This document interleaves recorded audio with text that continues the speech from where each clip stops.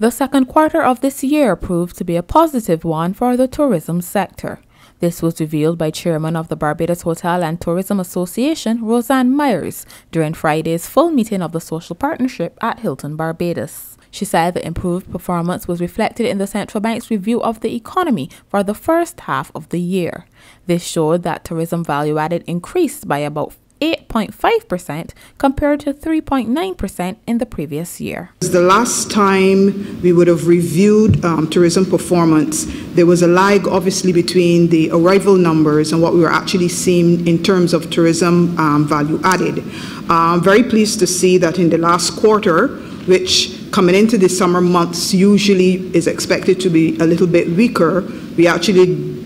did see an 8% growth and I'm very pleased to see that also tracks with the information that we're gathering. Um, I would have spoken about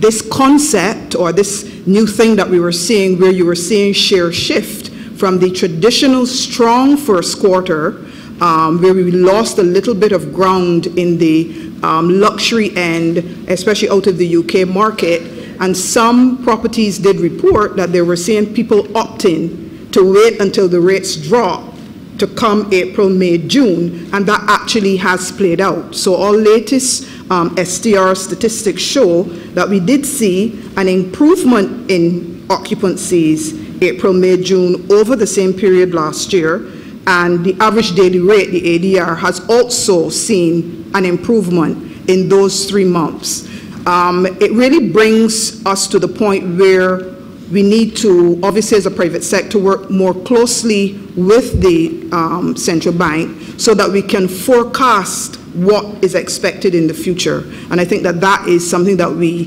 really have to commit as a social partnership to do because with all of the agencies, um, we need to be able to report